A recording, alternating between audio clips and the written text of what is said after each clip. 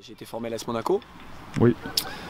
Euh, Jusqu'à l'âge de 18 ans. Ensuite, euh, je suis parti à Rouen, Gazélec d'Ajaccio, euh, Lille. Ensuite, euh, je suis parti 6 ans en Italie, 4 ans à Bari et, et un an à- et 2 ans à la Fidelisandria en série B. Ensuite, je suis revenu sur Lille. Un petit passage par la Belgique et, et un retour euh, pour finir ma carrière euh, en Italie euh, en série C.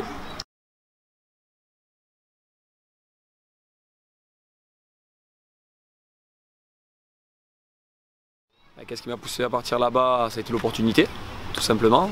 Euh, j'étais à, Lille euh, à l'époque, donc j'ai eu l'opportunité euh, d'intégrer ce club de l'AS Bari qui évoluait à l'époque en Serie A. D'ailleurs, on a fait 4 ans de, 4 ans de Serie A avec des joueurs comme, comme Cassano, Zambrotta, Perro- Perrotta. Donc voilà, la particularité de l'Italie à l'époque, c'était que tous les meilleurs joueurs étaient, étaient dans ce championnat, ce qui équivaut aujourd'hui un peu à l'Espagne.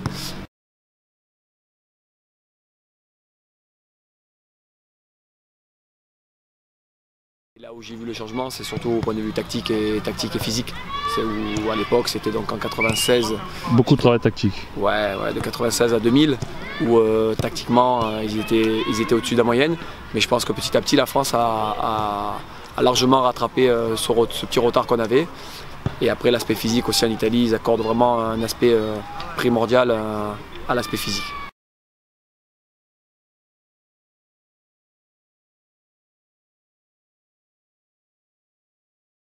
Moi, j'ai l'ambition d'aller le plus haut possible.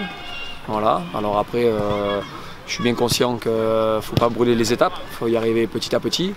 Donc moi, j'ai pris il y a 5 ans la, la PHB de l'AS Monaco, l'équipe 3, l'équipe 1 euh, de la section amateur. Oui. Alors, on est monté jusqu'en DHR, là où le club n'avait jamais évolué. Donc euh, voilà, donc c'est c'est vrai qu'on se prête au jeu. Puis après encore plus, puis encore plus, puis après on se dit bon, euh, on monte en Pourquoi DHR. Il nous, il nous faut les diplômes parce que de toute manière euh, on ne peut pas tricher, euh, parce que bah, de toute manière C'est obligatoire. déjà d'une c'est obligatoire et de toute manière on s'en sort pas, on s'en sortirait pas. C'est pas parce qu'on a été un, un joueur professionnel de n'importe quel niveau, première division, deuxième division, troisième division, qu'on peut s'en sortir au niveau, euh, au niveau de, de l'entraînement. Au niveau entraînement, Ça n'a ça n'a rien à voir. Surtout qu'aujourd'hui il y a des, des nouveaux procédés, donc c'est super enrichissant.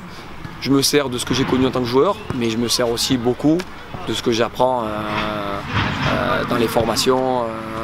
euh, de la FED, donc et, surtout de ce que nous apprend cette formation du BE